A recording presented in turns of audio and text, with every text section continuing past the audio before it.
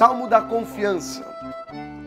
Tu que habitas sob a proteção do Altíssimo, que moras à sombra do Onipotente.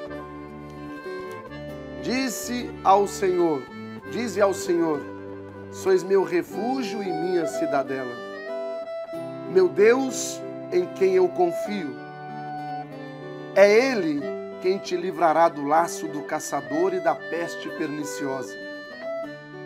Ele te cobrirá com suas plumas, com as suas asas. Sob as suas asas encontrarás refúgio. Sua fidelidade te será um escudo de proteção.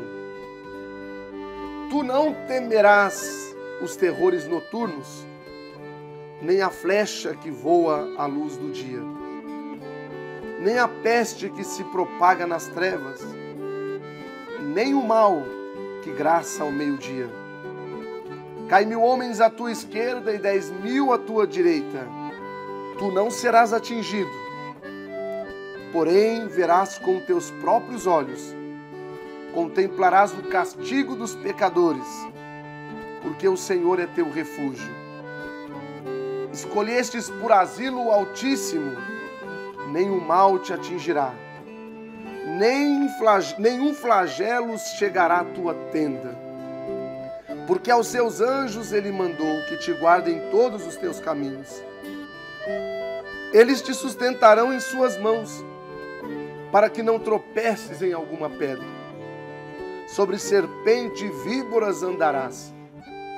Calcarás aos pés o leão e o dragão, pois que se uniu a mim, eu o livrarei e o protegerei, pois conhece o meu nome. Quando me invocar, eu o atenderei. Na tribulação estarei com ele. Eu hei de livrá-lo e o cobrirei de glória. Será favorecido de longos dias e eu lhe mostrarei a minha salvação.